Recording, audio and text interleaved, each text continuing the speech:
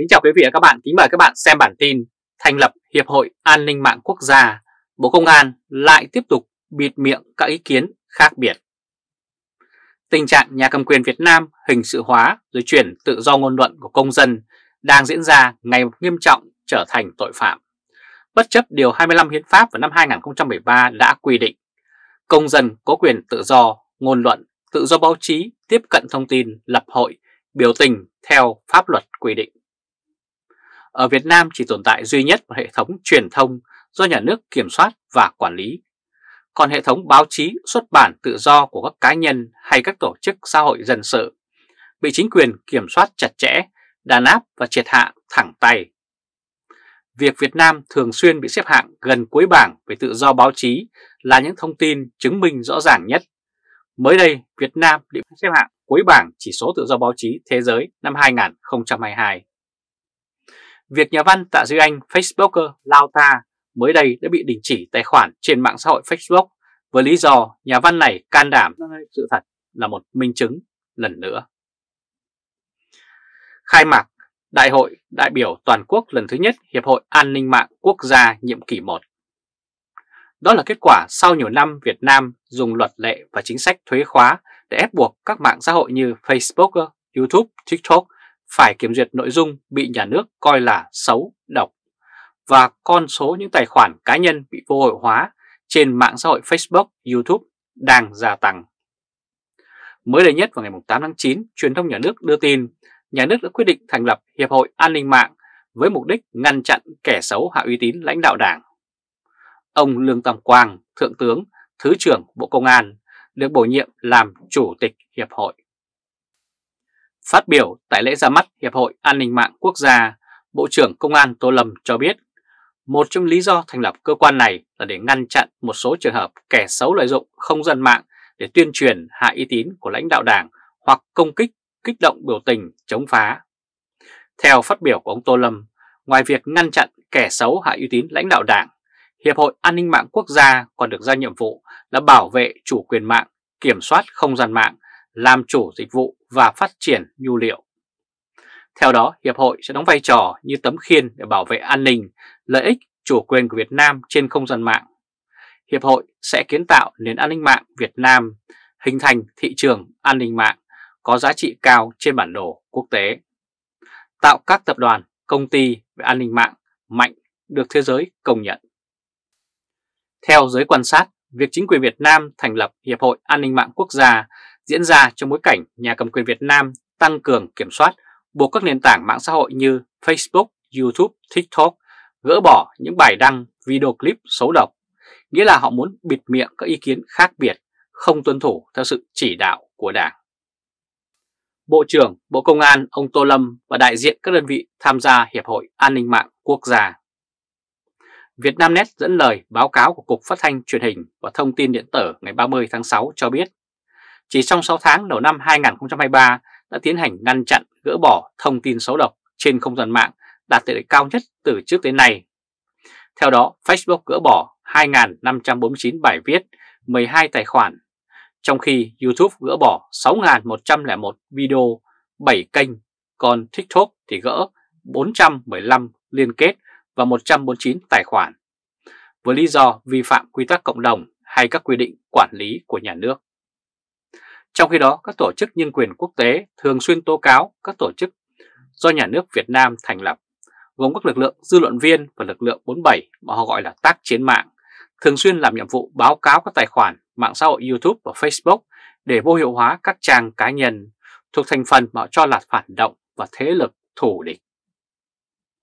Tổ chức theo dõi nhân quyền quốc tế và nhiều cá nhân tổ chức bảo vệ nhân quyền trong và ngoài nước đã nhiều lần từng cáo buộc các công ty như Google, Facebook đã đầu hàng làm ngược lại nguyên tắc tự do thông tin và chiều theo đòi hỏi của chế độ độc tài toàn trị tại Hà Nội. Như vậy, Google và Facebook đã tiếp tay cho chính quyền Việt Nam vô hiệu hóa quyền tự do ngôn luận của người dân. Cách đây 78 năm, Quốc hội khóa 1 của nước Việt Nam Dân Chủ Cộng Hòa vào năm 1946 đã thông qua hiến pháp, trong đó Điều 10 hiến pháp ghi rõ công dân Việt Nam có quyền tự do ngôn luận, tự do xuất bản, tự do tổ chức và hội họp, tự do tín ngưỡng, tự do cư trú đi lại trong nước và ra nước ngoài.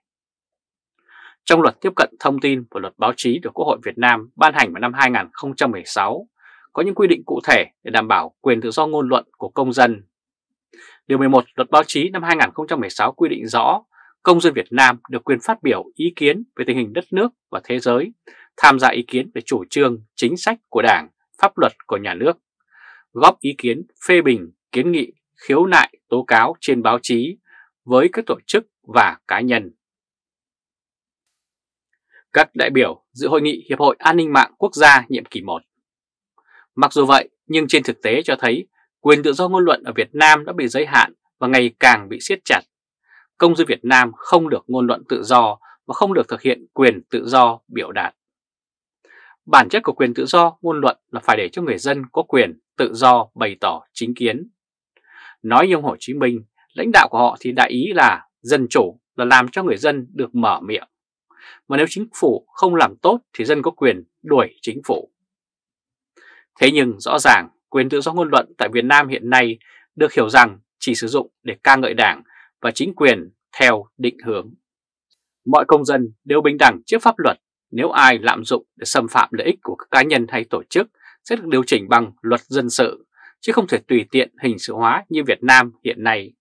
Bằng việc siết chặt và gia tăng các biện pháp quản lý, rõ ràng chính quyền Việt Nam đã vi phạm quyền tự do ngôn luận, tự do báo chí và tự do biểu đạt của người dân được ghi trong hiến định. Quý vị và các bạn vừa theo dõi chương trình truyền hình trực tiếp với bản tin của Thời báo chấm ngày hôm nay, thành lập Hiệp hội An ninh Quốc gia, Bộ Công an lại tiếp tục bịt miệng các ý kiến khác biệt.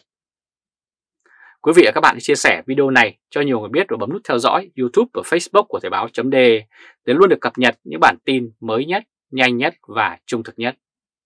Từ Berlin, Cộng hòa Liên bang Đức chào các bạn và hẹn gặp lại các bạn ở bản tin lần tới.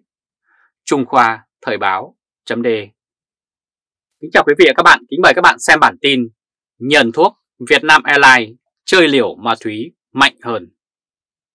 Vào ngày 7 tháng 9, báo chí trong và ngoài nước đồng loạt dẫn tin từ đài MBC Hàn Quốc về việc các tiếp viên hàng không Việt Nam buôn lậu ma túy. Theo đó, vào ngày 6 tháng 9, đài này đưa tin cảnh sát Incheon phía tây Seoul, Hàn Quốc đã bắt giữ hai trong số 4 thành viên phi hành đoàn của một hãng hàng không Việt Nam để điều tra về hành vi buôn lậu ma túy. Tiếp viên của Vietnam Airlines dám làm nhưng chẳng tờ báo nào dám khẳng định mà chỉ nói tránh đi.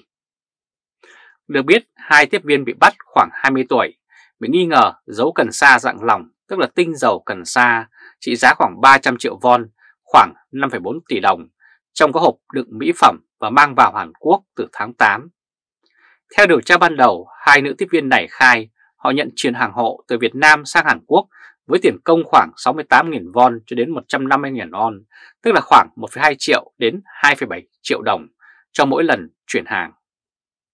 Tuy nhiên, các tờ báo trong nước không cho biết cụ thể hai tiếp viên này thuộc hãng nào. Họ không dám nói thẳng tiếp viên tên và tên hãng hàng không mà lại nói cách nói tránh, ai muốn hiểu, thế nào thì hiểu. Các báo Việt Nam nói rằng đại diện Vietjet Airways khẳng định hai tiếp viên bị bắt không thuộc phi hành đoàn của hãng. Các hoạt động của Vietjet Airways vẫn diễn ra bình thường, an toàn và tuân thủ các quy định. Bumble Airways cũng phát đi thông báo tương tự sau khi xác minh sự việc và kiểm tra nội bộ. Trong khi đó, chia sẻ với báo chí, Vietnam Airlines cho biết đang xác minh từ các bộ phận chức năng và sớm có thông tin về vụ việc. Việt Nam hiện nay có 3 hãng hàng không khai thác các đường bay quốc tế bao gồm Vietnam Airlines, Vietjet Airways và Bamboo Airways. Vì vậy, cách đưa tin của báo chí trong nước theo phương pháp tự suy nghĩ như thế là một cách gián tiếp thông tin với bạn đọc rằng đấy là tiếp viên của hãng hàng không Vietnam Airways. Đây không phải là lần đầu tiên người của Vietnam Airlines bị bắt ở Hàn Quốc. Vào ngày 15 tháng 4 năm 2015 khi đó, báo chí Hàn Quốc đưa tin cơ trưởng Nguyễn Văn Dũng, còn gọi là Dũng 6, cách phân biệt của các phi công trùng tên và tiếp viên Nguyễn Tuấn Phong, tức là Phong 6, đi trên chuyến bay Việt Nam 426 hành trình Hà Nội Busan đã bị hải quan tại sân bay Kim He Busan, Hàn Quốc tạm giữ vào ngày 10 tháng 3 năm 2015 vì buôn lậu vàng. Được dung dưỡng như thế này nên đã lờn thuốc. Hồi tháng 3 vừa qua, báo chí cũng đưa tin dùm beng về việc 4 tiếp viên của hàng không Việt Nam Airlines mang 10 kg ma túy tổng hợp bị bắt tại hải quan sân bay Tân Sơn Nhất với tang chứng, vật chứng đầy đủ. Tuy nhiên, sau khi hải quan bàn giao đối tượng cho công an thành phố Hồ Chí Minh thì cơ quan này đã thả cả bốn cô tiếp viên trong sự bất bình của dư luận. Có người cho rằng bốn cô tiếp viên này là con cháu của anh ba, anh bảy ngoài trung ương nên không thể bắt. Thực tế, Việt Nam Airlines có rất nhiều hàng gửi, tức là con ông, cháu cha, con ông nọ, bà kia được đưa vào hãng. Nên không ai dám động. Ngay cả công an thành phố Hồ Chí Minh còn không dám động đến những cô gái tiếp viên này thì ai dám động tới họ ở đất nước này. Việt Nam Airlines cũng là doanh nghiệp của nhà nước, nhà nước nắm chiếm đến 86% cổ phần thì doanh nghiệp này cũng là ông trời trong ngành hàng không. Nhân viên của họ, kẻ thì vận chuyển ma túy, kẻ thì chơi ma túy, kẻ thì buôn lậu vàng vân vân, chẳng có ai bị truy tố.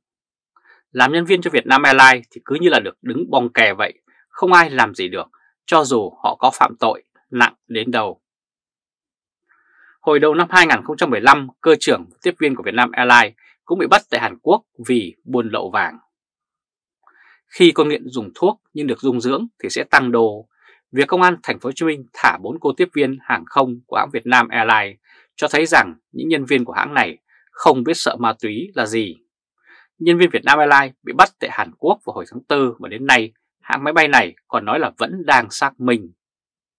Thực ra họ muốn giấu, nhưng vì đài NBC công bố khiến họ đã bị lộ.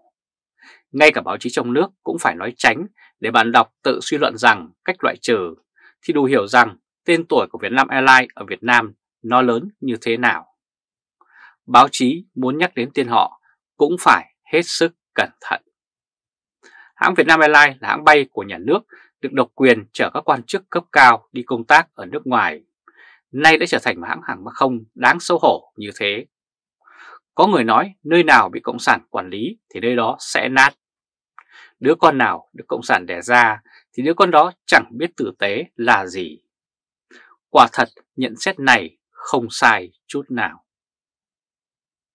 Quý vị và các bạn vừa theo dõi chương trình truyền hình trực tiếp với bản tin Nhân thuốc Việt Nam Airlines chơi liều ma túy mạnh hơn. Quý vị và các bạn hãy chia sẻ video này cho nhiều người biết và bấm nút theo dõi YouTube và Facebook của Thời báo .d để luôn được cập nhật những bản tin mới nhất, nhanh nhất và trung thực nhất.